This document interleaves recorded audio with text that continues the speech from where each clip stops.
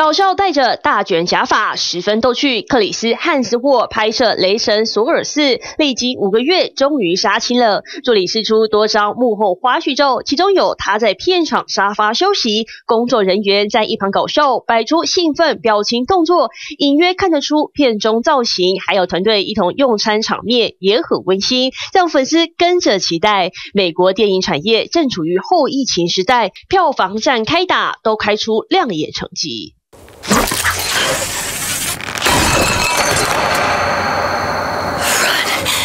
由艾米丽·布朗主演，一位母亲带着三个孩子过着出生就有危险的旅程。《境界二》五月二十八号全美上映，也拿下十三亿台币票房佳绩，创下美国疫情期间开片票房新高，更领先时尚恶女库伊拉。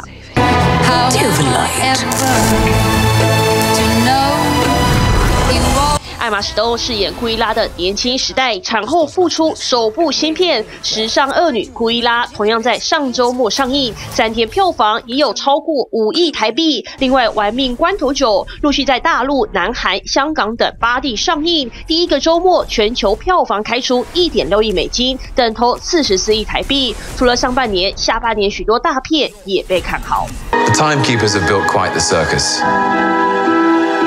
And I see the clowns are playing their parts to perfection.